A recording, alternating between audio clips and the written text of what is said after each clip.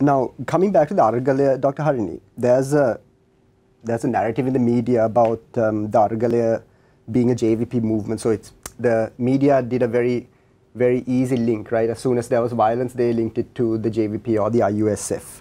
Now, and the Prime Minister, I think within a week of taking power, he was on international media calling the IUSF a, a militant organization very specifically. Mm. Now, could you just um, for our audience, tell us about the JVP's involvement in the Aragalaya. And can you sort of comment on this idea that people had that the Aragalaya is apolitical?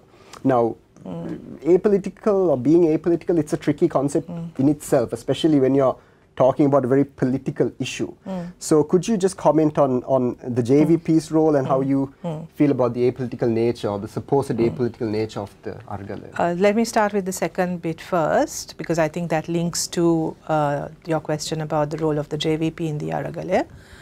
Um, I think I, uh, apolitical is problematic because this is a this is a this the Aragalaya that is calling for political reform and that reform then requ uh, requires you to take a political stand and a political position, right? So uh, I think a lot of people don't necessarily understand what they mean when they say apolitical, right? And also it comes from this um, feeling that politics is bad, right? And that's problematic also. Uh, I think, but more, most people described it as non-partisan. That I think is fair enough, right? Because that, that Aragalaya had uh, people who were part of political parties, who were not, who were independent, who were floating voters. It had everybody. So in that sense, the Aragalaya represented everybody, not necessarily one political party or movement. So in that sense, to describe it as not non-partisan, I think is completely fine because that that was the reality, right? right? And that is the reality. And the JVP as well as the NPP were very, very sensitive to that uh, to that notion of uh, of the Aragalaya being a non-partisan space and a non-partisan movement.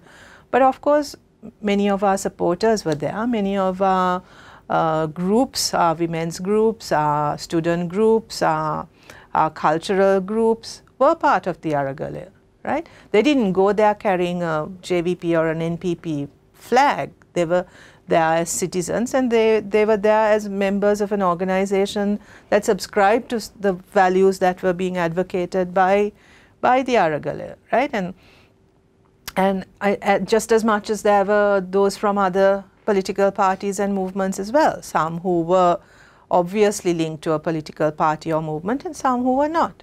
So I don't see any problem in that and I find this sort of post May 9th sort of sudden, oh my gosh, the JVP was there, a bit naive, right? Of course the JVP was there, of course the FSP was there, so was the SJB and so were lots of others. Do you think the media drives a little bit? Media drives it, but I think also this sort of, again, it's linked to that earlier thing that I talked about, like, and I think that's a very sort of, I'm sorry, I'm going to sound a little probably a little controversial here, but a very urban middle class thing that transformation, political transformation can somehow happen without the involvement of politics. That it's some, it's like, it's almost like it's some kind of NGO project, mm. right? It's not. We are talking about structural change here. We are talking about political transformation, and that's not a, that's not a project, right? Mm. So, um, so I think that's, I, I, you won't find it Uh, out in, and the Aragalaya is not confined to Galle Face also. It's spread. And if you go out and you talk to people who've been part of this specific Gota Go Home Aragalaya and beyond, they they they have they don't have the same sort of qualms or the same reaction to the the presence of political parties in those spaces, right?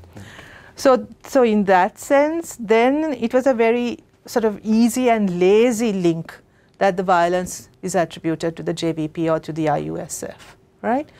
Um, and that completely kind of also misses the, the trigger to the, to the incidents of the 9th. It's a reaction. It's a reaction. It was a response. And if you were there, if you saw what was going on, I think people, people responded very uh, uh, uh, in, in, by, by instinct.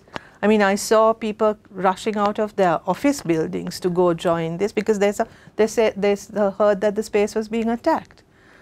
Right? I, I've met with people who said they were driving their cars when they heard and they parked and they ran. Right? Because they, they, they felt personally attacked and they felt the space needed to be protected. Right? Certainly then what happened in the evening went beyond uh, that initial reaction of wanting to protect that space and to push back on, on, on, on, an attack on a very peaceful protest site, right? And, and those, and the, the violence, we condemn without reservation. That's not how we should do things in this country, but unfortunately that is how we have done things in this country. This is not the first time, right? And I think there's a, the, all of this need has raised the need for us to examine uh, why we respond in those violent ways as a society, right? And I think it's very lazy uh, to just sort of say, ah, that's the JVP and that's the IUSF and absolve uh, ourselves and everyone else from that violence. And also, it's very, very, um, it's, it's completely then not, not taking into consideration the trigger in the morning which was the cause of uh, the main cause for what happened thereafter. Yeah.